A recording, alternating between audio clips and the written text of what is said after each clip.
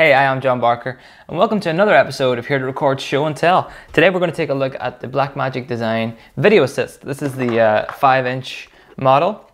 I have the box right here, but I'll just put that aside and show you the actual uh, Video Assist itself. Let's just take a little tour around the device then. You have the, uh, the screen here on the front. At the top and the bottom are pretty similar. You have the standard tripod mounts. You've got three there, and flipping around to the bottom, you've got three more down here. You also have the USB port for updating the firmware.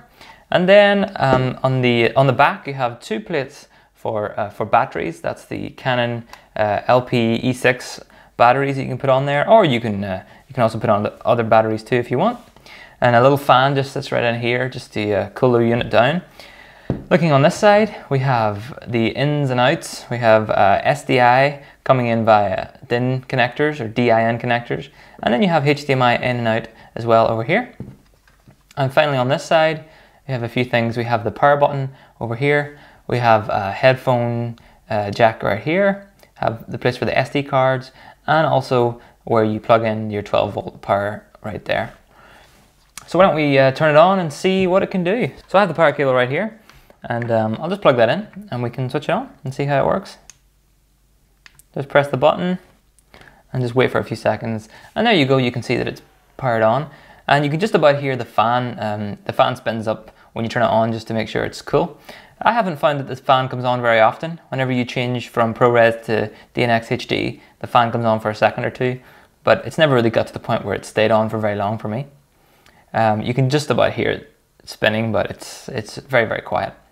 Um, so looking at the interface, uh, along the top you have sort of the, the uh, input settings and the uh, recording settings, time code, and a few other things, and then the bottom um, you have the, you know, the main controls where you press play to playback or record, or you also have an audio meter over here. So I'll just plug in this, uh, this camera source and we can have a look at how it all works together. So automatically you'll see up at the top corner what the um, resolution and frame rate of your source is. So in this case, I am coming in 1080p 50, and that will just automatically adjust to whatever you plug in. So if you plug in 1080i 50 or 1080p 60, it'll just adjust and it'll say that up there. Um, next, you can jump into the settings. Um, if you just click or just press, sorry, right here on the, the top corner, you can see a few settings like uh, Zebra, Focus Assist. You can put on some guides. Um, put on a, a, grid or some false color. I'll just play with that a little bit so you can just see what it does. Uh, in Zebra, for example, you can see, just about see there, if my finger doesn't get in the way, uh, you can see the zebras coming up. Uh, focus assist, you can see that happening too. Medium high, hopefully my face is in focus, I think it is, good. Uh, some guides, 4.3, 239.1, so that just gives you a general idea of what you can do and so on. You got some grids. I just keep all that stuff off. And false color if you want to get really funky with it. Um, that's fine. Let's get out of there. Best thing to do to get out of a menu, I think, is just tap outside of the menu. Uh, looking next, you can't really do anything here because, like I said, it automatically sets what the resolution frame rate is. But if we go into um, press on the uh, on the codec, you can make a few changes here. So this is where you set what you want to record as. I'm doing this upside down, so sorry if I'm not pressing the button properly. But here I can do, uh, yeah, I can do ProRes, uh, Proxy, LT, ProRes, HQ, and then I can change to DNX HD models. Um, I have done some testing with uh, approximate times of, um, of record times, and you can see that graph on the screen now, where uh, depending on what codec you choose, um, I've given you a rough estimation of what time you can expect to record for. Just keep in mind this is a 1080p 50 signal and obviously things might vary for you and it's also a 128 gig card um, but I think it's just a, a, good way to see a rough example of what you might get from, the, from this recorder. Something I found really useful to see is how much I can roughly get based on what SD card I put in it. Trigger recording, um, you can set that over SDI or HDMI, and also you can do it from timecode, but I just keep that off. And also you can set the source. I only have a HDMI plugged in right now, so HDMI is my only option, but also you can have SDI plugged in at the same time, and then flick between them there. Uh, you can also get to those settings over here as well. If you just click or just press over there, you can see that's the same settings. Um, and finally, or not finally, but here's the indication of batteries. I don't really use batteries for this. I, I like to keep it plugged in all the time, so it, it never dies for me, but that's useful for you if you want to do that. So you can see what level the, the power is for each of your batteries on, that are attached to the back. And then I can just click on um, this little card ready uh, part right here. And I can see a few more settings for the uh, video assist. Up here is the name given to it. I've just left it as, um, oh sorry, the card name. Yeah, so that's the, the uh, SD card that's plugged in, what it's actually called. You can see the capacity, the format, and you can format the card from in here. Uh, you can also change a few settings within the, the monitor settings here. So this is where you turn on your, uh, your LUTs, your 3D LUTs if you have any. And um, it has a nice little feature where you can rotate the screen automatically. I think you can probably just see it if I leave this menu uh, as I turn the screen back and forth, it automatically knows what direction it's, uh, which way it's up. So it will change that, or you can turn that off if you want, if you want to put it in a, in a funny location. Next up, display. You can change the brightness and the contrast. I'll just keep that in around there for now. Um, and saturation as well.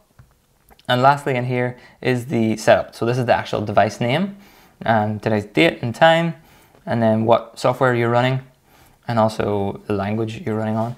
Um, there's a little back arrow just right at the bottom corner just to get out of this menu uh, because it's a sort of full screen menu. So that's a look at the menus of the device. Let's take a look at the bottom and uh, you can see how to control it and things like that. So at the bottom we have this little histogram and then beside that we have the uh, standard controls. You have uh, play to play back anything that you've recorded or record, obviously to record. Um, let's just hit record for a minute and we'll just let that run for, uh, for a few seconds. You can see really the only option now is to stop the recording. And just to show you what happens whenever you want to get rid of these menus, you just swipe down and they'll go away. And you can see right here in the middle, just about see that recording is indicated by that little, uh, that little red line. So I'll just bring back the menus again and I can see the audio meter as well over here on the side. Um, I find that really useful for, for monitoring audio at a conference and stuff. I put my headphones in the side and it works really well. Um, so I'll just hit stop on that. So now let's just take a look in the play mode and see how that looks. So if I press play, um, it'll automatically start playing that clip that I just recorded, uh, whatever the cl last clip was. It gives me uh, some details up here, the clip name and the duration. I have a little uh, timeline here I can scrub through and I can go back to the start, just pause it, skip, I can skip through a few clips that I was recording earlier just to do some tests. Um, and then I can press stop and that takes me back out to the recording mode. Um, it's pretty, pretty good. I can use this one little last uh, option here, which is a little plus, and that means I can zoom in. Uh, the one thing is you can't actually move around on the screen. All you can do is zoom in to the, the point in the center of the screen. It's good for focus, but obviously if something is off uh, the side of the screen, then it's not really that useful. You need to re, uh, remove your cam or remove your camera. So I'll just head back out again, pressing that little button. And that's pretty much it. You swipe up and down to get rid of the, the menus and to bring them back on again. Um, you can see the headset level if you click on the uh, audio meters. That's where you can set that. And that's all the settings of the Video Assist. So in terms of what I really like about this device, I really like the good quality screen on there. Um, I found it very useful for, uh, for finding focus points and um, using it as my reference monitor whenever I'm at a conference. Um, I like that it records to SD card as well, so I can record a backup of whatever I'm filming on the day. I tend to record in uh, proxy mode so I can take the most out of the, uh, of the SD cards. It's kind of a final backup for me, so hopefully I'll never have to use it, but it's really nice to have it. Um, and I also like how responsive the touchscreen actually is. Quite often you can find with these touchscreens, um, they, they don't quite work that well. You have to tap quite a few times to, um, to make them work. But I find this one works really well. Any mistakes you see in, uh, in the touchscreen today, it was probably because I was using upside down rather than the touchscreen not being responsive enough.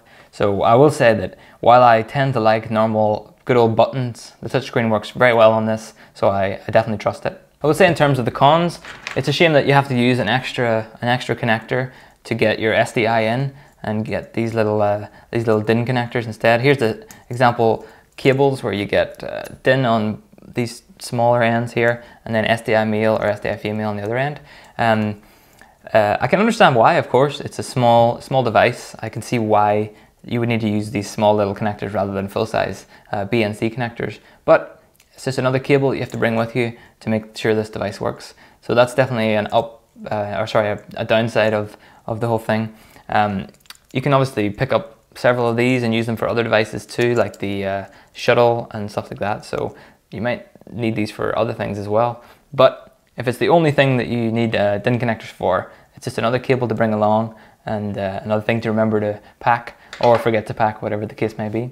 And the other thing um, about it is the knowing when it's recording. So when I press that record button and it's uh, recording the footage, sometimes it's a little hard to tell, and I have seen this, this uh, comment online as well, that it's a little hard to tell when it's definitely recording at a glance. Yes, I can see the time code running. Um, this button kind of looks the same as it did before. The square to the circle, there's not a huge difference. Whenever you uh, hide the menu, that little record icon is nice to see down at the bottom.